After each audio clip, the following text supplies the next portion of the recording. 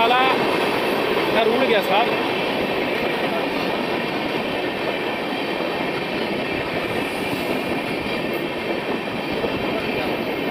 एक कोच नया ही है। वो सब दूसरा में लगाएगा